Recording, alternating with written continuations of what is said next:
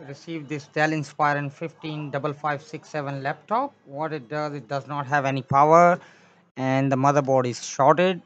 It does not turn on, no light at all. And customer said he took it to multiple multiple places and the laptop did not fix. Mm, some of the parts has been removed from inside. Let's see how we can open this laptop and check if we can fix this motherboard. Stay with me, I will be back. I have opened this board missing and there is a short on this motherboard. If I check on these coils, as you can hear the beep.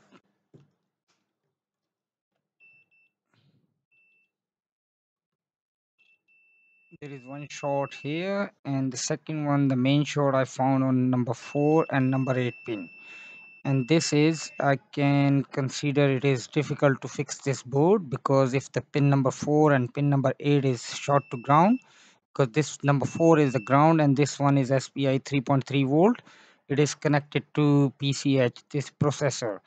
If this one is shorted the chances are the CPU has been burned because it is difficult.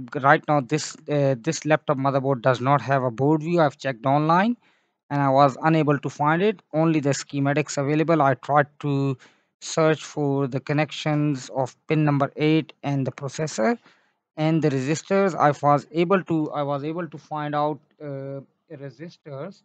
It does have RC17 resistor the number of resistor but there are no markings. I will show you in details just in a, in a second.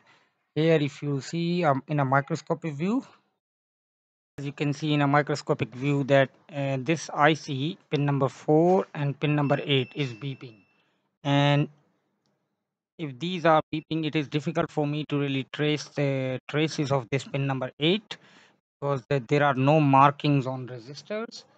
That's the reason why the RC the number I have said to you before it is RC17 and if I even try to trace this with the help of a multimeter. It is already shorted there is no point of searching.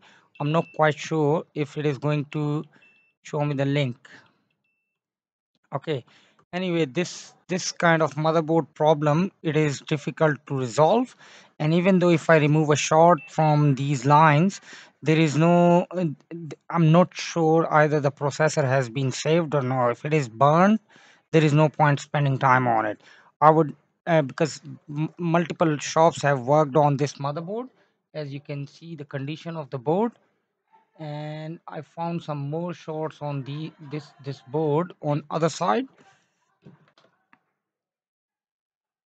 Here you see people already tried to remove these capacitors to trace the short and here is the short too. As already you can see the capacitor has already been removed to find the short but they were unable to resolve this issue. More likely this is the processor issue. And if I inject 3.3 volt in this line on pin number 8 I may be able to find a short on capacitor near the processor or at the back back side of the capacitor on process on this line. If I do find that one I replace the capacitor and then check the board. If it does turn on it, it would be fine. Otherwise uh, if it doesn't turn on then there are more likely chances the processor has gone. I do not have a similar board to really compare the readings of other processor. That's the reason why I'm just don't I don't want to spend time on this motherboard as soon as a number of people have worked on it.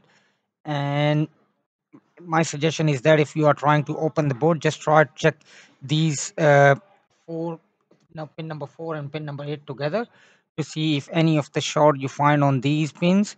If you do find the chances of fixing the boards are almost almost 10 percent. And 90 percent there are chances that the processor has gone because i've received previously number of boards and success rate was uh, almost next to nothing. Like uh, i was unable to find a short and i was unable to fix the board.